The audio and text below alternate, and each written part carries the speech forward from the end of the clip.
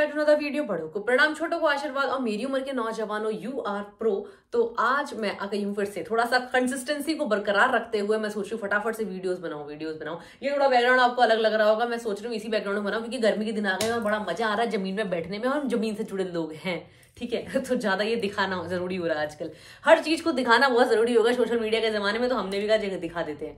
तो आज मैं क्या कर रही हूँ, टीजर टीजर, इतने तगड़े तगड़े टीजर टीजर दिख रहे हैं। ऐसा नहीं, बस खाली वो ट्रेंडिंग में है। भाई साहब, मैंने पिछली वीडियो में कहा था, दो ही चीज़ें ट्रेंडिंग में आ सकती हैं, या तो कुछ ज़्यादा ठरकनेस है उसके अंदर, या फिर कुछ ज़्यादा काम किया गया है उस पर तो एक टीजर मैं देख चुकी हूँ कान कांजुआ मज़ा आ गया। मतलब उसके विजुअल्स देखो तो आपको ऐसा लग रहा है किसी दूसरे परलोक परलोक में हम पहुँच चुके हैं और स्टोरी लाइन आपको समझ में नहीं आ रही क्योंकि टीजर से क्या ही समझ में आ जाएगा पचास सेकंड की चीज़ है लेकिन पचास पचास सेकंड की चीज़ में क्या समझ में आ रहा है कि इसको देखना पड़ेगा। इस तरह का कुछ चीज़ें मेरे को तो समझ में आ गई है। अब मैं जरा दूसरे उस पर स्विच हो रही हूँ। एक और टीजर दिख रहा था। जब देखते हैं ना, थोड़ा इसी वजह से पता चलता है कि दुनिया में क्या हो रहा है, क्या नहीं हो रहा है। तो जरा टीजर को देखा जाए। आजकल तो हाँ वेदा? ओ भाई साहब। जॉन अब्राहिम। जॉन अब्राहिम को मैं कब की, की लास्ट क्या देखी थी? फोर्स देखी थी मैंने? और भी आई होगी बीच में बल्कि मैंने लास्ट फोर्स देखी थी शायद।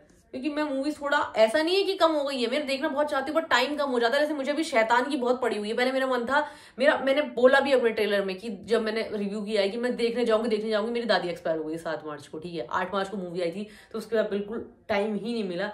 लेकिन मेरा अभी भी मन है कि मैं देखूँ तो देखूँ तो थिएटर में ही देखूँ, लेकिन फिर वरना मैं, देखो, इन प्लेटफॉर्म जिंदाबाद है, इन्हीं प्लेटफॉर्म पे देखना पड़ेगा कहीं ना कहीं। हमें तो देखना है ना यार, किस तरह का काम हो रहा है। बॉलीवुड दुनिया में। स्टार्ट मारो नाम, वेदा। उपनाम, दर्जा, पहचान, सब पैर रतलवा पर मने नहीं जावे कोई रक्षक। अगर हो तो कोई ऐसा जो पैर रे तलवाने लोहे का तवा बना दे।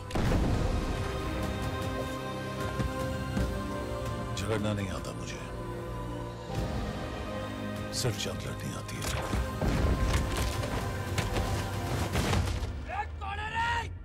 बाप।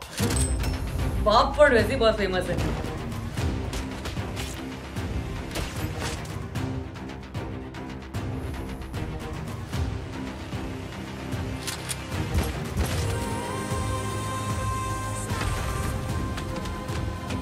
ये ये सुकड़ू से है, पता नहीं कौन है, एक सुकड़ू सा, ये ये पीछे जो चश्मे वाले हैं अभी, इनको देख के ना मेरे को वैसी बहुत डर डर लगी रहती है, पता नहीं कुछ लोग ऐसे नहीं होते हैं जो होते ककड़ी ऐसे हैं, बिल्कुल मोमबत्ती ऐसे, लेकिन वो भी इतना डरा जाते हैं ना, पता नहीं वो किस तरह के एक्सप्रेशन देते हैं, किस तरह का काम करते हैं, मुँह में चढ़े हुए वर्ड्स है तो निकल जाता है।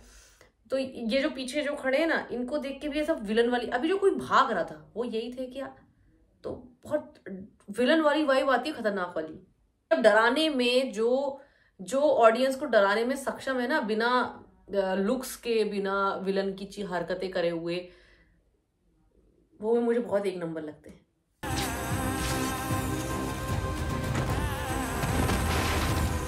तेरे पास दो रास्ते हैं।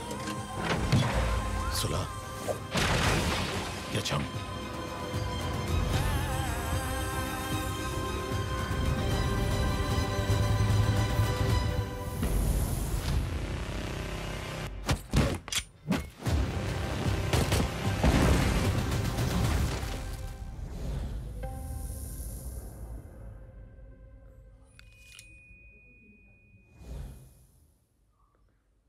जुलाई में आने वाली बाप रे, जुलाई में आने वाली है। लेकिन देखो, जहाँ जॉन ऑब्राइम है, वहाँ बाइक के सीन के बिना मूवी का कोई शॉट हो नहीं सकता। तो ऐसा नहीं मतलब बिना उसके भी हो जाएगा, ऐसा गाड़ी वाड़ी में भी हो जाता है, लेकिन बाइक्स मैंडेटरी है जॉन ऑब्राइम के साथ। तो मज़ा आया वो वाला सीन देख के। शुरुआत बड़ी अच्छी लगी जो रीजनल लैंग्वेज में, है ना, उठी सारी बातें, जो तीन चार लाइंस जो बोली ही थी टीजर में। वो रीजनल लैंग्वेज में थी तो वो सुन के ज़्यादा मज़ा आ जाता है। ऐसा तभी तो ऐसा लगता है इंडिया डाइवर्स क्यों दिखता है? जब ऐसा लगता है ना कि दूसरी दूसरी लैंग्वेज में भी वर्ड्स आते हैं, हम पकड़ तो लेते ही हमें समझ तो आई जाती है। इसी इसी वजह से समझ में आती है क्योंकि वो किसी ना किसी के थ्रू मिलती है सुनने को। अब हम तो उत्तराखंड में जैसे पहाड़ से हूँ, पहाड़ी हूँ तो मेरे को कहाँ से सुनने को मिला डीजे पे गाने बज रहे हैं, हरियाणवी बज रहे हैं, कहीं पंजाबी बज रहे हैं, कहीं कुछ बज रहा है। अब वो गुजराती वाला, पता है मुझे क्या लगता था? वो जो गाना एक शेर मारे, रोना शेर, मुझे लगता था पहाड़ी गाना है, बाद में पता चले गुजराती गाना है। हमारे इतना लगता है ना, शेर मारे मतलब गलत गा देती हूँ। रोना शेर मारे, नाना किस्मत नहीं गाड़ी टॉप गेर मारे मतलब कुछ भी। ठीक है, आ जाते हैं हटके। तो ये कॉन्टेक्स्ट मतलब समझाना मैं इसी तरह का चीज़ें चाह रही थी कि जो चीज़ मुझे पॉइंट अच्छा लगा उस पॉइंट से चार बातें मैं बोल दूँ तो फिर कोई गुस्सा होने वाली बात नहीं है रिएक्शन चैनल है, ये इस तरह की, मैं भी ऑडियंस हूँ आपकी तरह तो बताऊँगी। ठीक है तो पहली चीज़ जो उठी वो मुझे अच्छी लगी। एक्शन ठीक है, चल रहा है, भरपूर चल रहा है। स्टोरी लाइन आधी इन्होंने बीच बीच में बाधे रखी, क्योंकि हर चीज़ तो टीजर में खोल नहीं सकते ना। टीजर अभी तो ट्रेलर दुनिया भर की चीज़ें बन गई हैं आजकल। तो अच्छा लगा।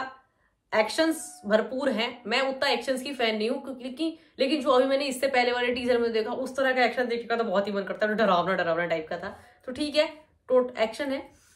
सही लगा मुझे ट्रेलर उतना मैं वो नहीं कहूँगी कि मुझे बहुत ही ज़्यादा खतरनाक वाला लगा और ये भी नहीं कहूँगी कि बहुत ज़्यादा ऐसा लगा कि अरे, क्या ये खत्म कब होगा वाला सीन तो ठीक लगा। बाकी आप लोगों को अगर मेरे साथ कुछ भी देखना पसंद आता हो कुछ भी चीज़ अच्छी लगती हो, कुछ भी ऐसा लगता हो कि ठीक है रिएक्शन चैनल्स अगर दस तरह के खुले हैं तो ये थोड़ा सा ठीक काम कर रही है। तो लाइक मार देना शेयर कर देना सब्सक्राइब कर देना इंस्टाग्राम इंस्टाग्राम चलाते हो तो उसका लिंक भी है डिस्क्रिप्शन में, देख लिए करो और फॉलो वॉलो कर लेना, अगर करते हो, चला रहे हो, अगर वहाँ टाइम वेस्ट कर ही रहे हो तो मेरे को भी कर देना फॉलो ऐसी कोई बात नहीं है। तो बाय बाय टेक केयर और, टाटा।